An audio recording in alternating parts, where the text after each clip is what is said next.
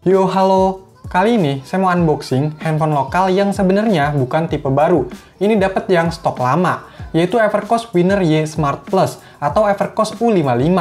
Dari keterangan penjualnya, ini kondisi baru, tapi udah dibuka buat dicek gitu. Yang bikin saya tertarik di handphone ini, yaitu punya layar yang lumayan gede, jaringannya udah 4G, versi Androidnya nggak jadul-jadul banget, dan harganya yang udah cukup terjangkau. Sekarang 399.000 di shopping. Oke, saya bingung mau basa-basi apa lagi, jadi langsung aja di unboxing. Di dalamnya, pertama dapat voucher diskon pulsa nih, 50.000 jadi 10.000 aja. Silakan yang mau coba nih kodenya. Terus dapat kartu perdana dari Simpati. Lanjut ada unit handphonenya, taruh dulu. Terus ada tempat apa nih? Oh, isinya ada cash, semi transparan gitu. Ada kartu garansi, kayaknya udah nggak berlaku nih. Dan ada panduan pengguna singkat. Dapat stiker juga, kayak hologram gitu ya. Ada kabel data yang masih micro USB, terus dapat earphone yang kayak gini nih modelnya. Habis itu ada baterainya. Wah, ini gede juga ya bentuknya. Untuk kapasitasnya 3000 mAh. Dapat charger atau adaptor yang outputnya 5 volt 1 ampere. Dan ada silika gelnya.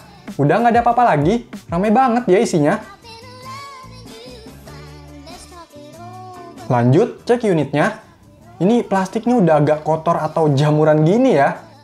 Dapat anti gores juga, udah kepasang. Nah, untuk bentuk handphonenya seperti ini. Masih kinclong ya ternyata. Di bagian depan ada layar yang berukuran 5,5 inch. Di atasnya ada lampu flash, earpiece, dan kamera 8 megapiksel. Bawahnya ada tombol kapasitif, back, home, dan recent app. Di bagian sisi kanannya ada tombol pengatur volume dan power. Sisi bawahnya ada lubang micro USB dan mikrofon. Sisi kirinya kosong, dan di sisi atasnya ada lubang jack audio. Ini kayak ada garis antena gitu ya. Untuk bagian belakangnya, di sini ada kamera 8 megapiksel dan lampu flash. Terus tulisan Evercost 4G, desain by Evercost, bla bla bla, dan lubang speaker.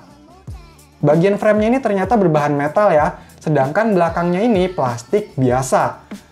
Untuk ukuran handphonenya ini lumayan gede dan cukup solid sih.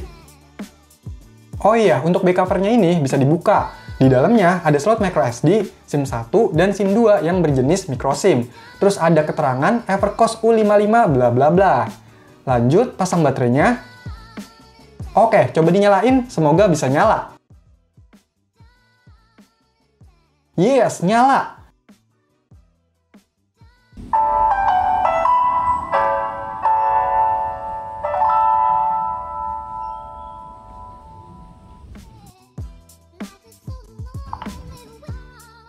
Dan inilah tampilan pertama dari Evercost U55.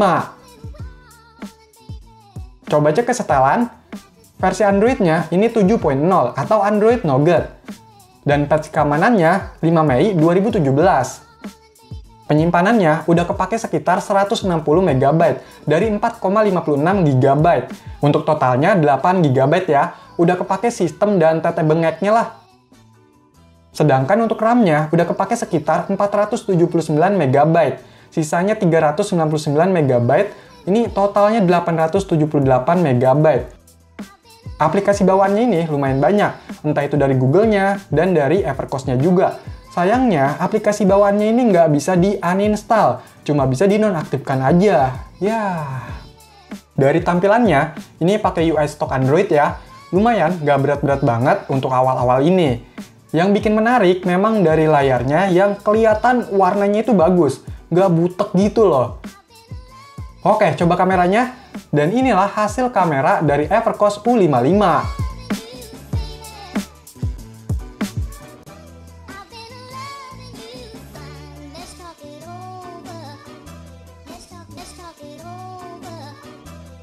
Evercost Winner Y Smart Plus atau U55 ini dirilis sekitar tahun 2017. Tipe ini merupakan upgrade dari yang sebelumnya, yaitu Evercost Winner Y Smart U50. Untuk spesifikasinya, handphone ini punya RAM 1 GB, internalnya 8 GB ya, pakai chipset dari Spreadtrum SC9832A, Cortex A7, quad-core 1,3 GHz, 28 nanometer, dan berjalan di 32 bit. Layarnya 5,5 inch HD 720 x 1280 dengan panel IPS. GPU-nya pakai Mali 400 MP, jaringannya 4G, baterainya 3000 mAh, dan menggunakan Android 7.0 Nougat.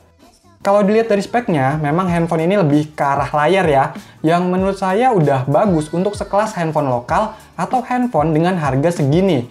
Karena ukurannya lumayan besar, resolusinya HD, warna dan sudut pandangnya baik, jadi buat nonton video di YouTube dan lain sebagainya, ini lumayan enak dan cukup puas.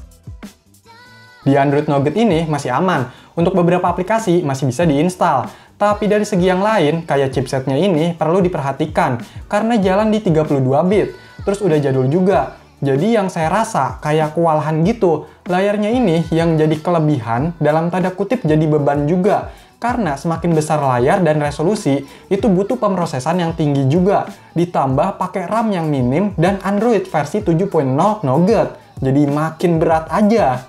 Ini saya baru login Play Store aja, udah berat. Apalagi jalanin aplikasi atau game yang berat.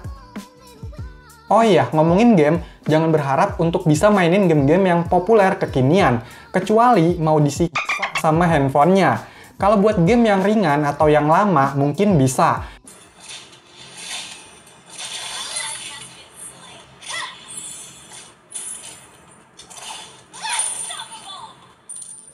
Gimana kalau dioprek? Sebagai handphone lokal dan tipe-tipe lama, biasanya banyak nih oprekernya. Tapi yang saya temui di grup komunitasnya yang udah sepi juga, saya nggak begitu banyak dapetin fosil menarik untuk bahan opreknya. Ya kalau untuk sekedar root atau pasang custom recovery-nya ada nih.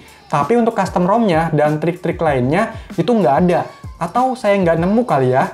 Walau begitu, masih lumayan bisa di root, hapusin aplikasi yang jadi beban, dan segala macam yang bisa dilakukan ketika sudah root. Nah, kalau udah kayak gini, saya jadi makin paham bahwa keseimbangan antara komponen hardware lain dan softwarenya itu benar-benar pengaruh ke performanya juga. Kalau yang satu besar, yang satu kecil, bisa jadi kelebihan, bisa jadi kekurangannya juga. Ya, pokoknya gitulah yang pernah nonton pembahasan handphone Android model jadul pasti paham. By the way, yang pernah pakai handphone ini atau ada yang punya pengalamannya, boleh berbagi ya di komentar. Oke, jadi itulah unboxing handphone lokal Evercost Winner Y Smart Plus U55. Kalau masih ada pertanyaan atau info tambahan, yuk komentar. Sekian video ini, semoga bermanfaat. Silahkan di like, share, dan subscribe channel ini. Terima kasih.